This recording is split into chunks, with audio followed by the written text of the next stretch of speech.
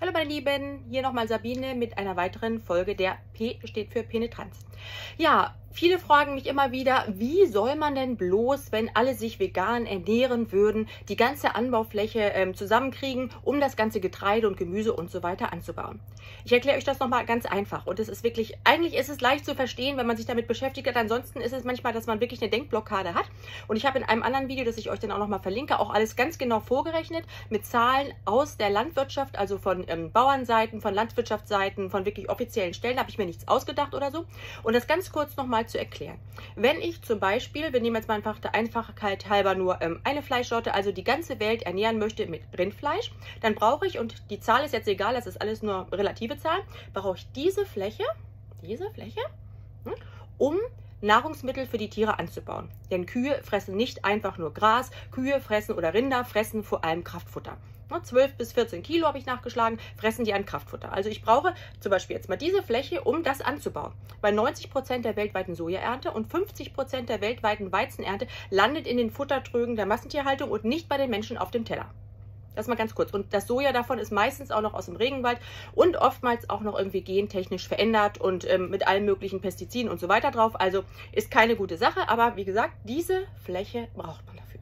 Da von neun Getreidekalorien, die man in die Tiere reinstopft, bei Rindern gerade mal eine Fleischkalorie zum Schluss rauskommt, heißt es, acht Kalorien sind verschwendet.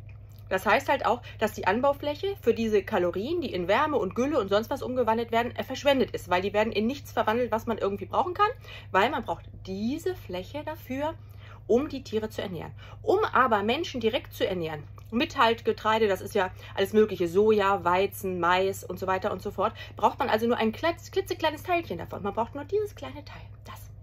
Dieses kleine Teil würde man nur brauchen, um Menschen zu ernähren. Ich habe es ja auch nochmal aufgemalt, weil, ähm, ja, wenn ich das so zeige, ist das vielleicht als ein bisschen coole Muddel.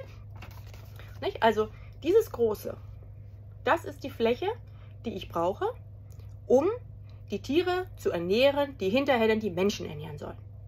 Nicht? Also entweder brauche ich dann, wenn ich das direkt an die Menschen verfüttere, nur diese kleine Fläche. Ist ja logisch, nicht? Also, weil die anderen Kalorien, die gehen ja einfach tschiu, ne, ins Nichts. Nicht? Also brauche nur diese kleine Fläche. Oder aber ich könnte bei der gleichen Anbaufläche neunmal so viele Menschen ernähren. Also das ist jetzt die äh, schlechteste äh, Rechnung, weil das ist halt bei Rindfleisch, bei Schweinefleisch und im Hühnerfleisch ist es ein bisschen besser. Da ist es dann halt nicht neun, sondern nur sechs oder fünf, aber immer noch eine riesengroße Masse. Man braucht also, um das ganze Getreide für die Veganer anzubauen, nicht? da braucht man nicht mehr Anbaufläche, sondern weniger, weil wenn ich das an die Tiere verfüttere, brauche ich so viel, weil das alles, was jetzt hier nicht geschreddert, also gestreift ist, nicht schraffiert ist, das ist Verschwendung. Und nur das hier wird nachher umgesetzt in Fleischkalorien. Also eigentlich ist das ganz logisch, ich weiß. Und die von euch, die es wissen, die sagen auch, was erklärt die denn hier für Mist? Aber die anderen, wie gesagt, ähm, haben da einfach immer noch eine Denkblockade. Und ich kriege nach jedem Video immer wieder diese Frage, nicht? Was ist denn mit dieser Fläche? Wo sollen wir denn das ganze Getreide anbauen? Das ist doch Blödsinn. Und Kühe fressen Gras. Nicht? Also Kühe würden standardmäßig wahrscheinlich Gras fressen und kein Kraftfutter. Aber 98 Prozent der Rinder, ich, Kühe und Rinder ist bei mir irgendwie immer, ne, geht immer drunter drüber. Also der Rinder steht in der Massentierhaltung. Also 98 Prozent überhaupt des Fleisches und der tierischen Produkte, die verzehrt werden, kommt aus der Massentierhaltung. Das sind nicht die Tiere, die auf der Wiese stehen oder die irgendwie bei einem kleinen Bauern unterwegs sind. Das meiste kommt aus riesengroßen Anlagen aus riesengroßen Anlagen. Und das sind halt die, an die dieses Kraftfutter verfüttert wird. Ganz logisch, ne? Also das wollte ich einfach nochmal erklären. Ich hoffe, es ist jetzt rübergekommen, dass man es verstehen kann. Aber ansonsten, ähm, ja, erkläre ich es gerne nochmal. Und das Ganze, wo ich es wirklich genau vorgerechnet habe, weil immer gesagt wird, man plappert immer nur irgendwas nach, was man auf irgendeiner Tierrechtsseite gesehen hat. Nein, ich habe es genau nachgerechnet, was Rinder fressen, wie lange Rinder leben, wie viel Kalorien sie dann fressen, wie viel Kalorien dabei rauskommen und wie viel dann damit ernährt werden könnten und so weiter und so fort. Das verlinke ich euch einfach unten nochmal. Das könnt ihr euch nochmal angucken. Ja, das war's nicht? P steht für Penetranz, ich heiße nicht umsonst Pankau und ich werde das weiter erzählen und bis es den Leuten aus den Ohren rauskommt. Ja, ich wünsche euch einen schönen Tag, macht's gut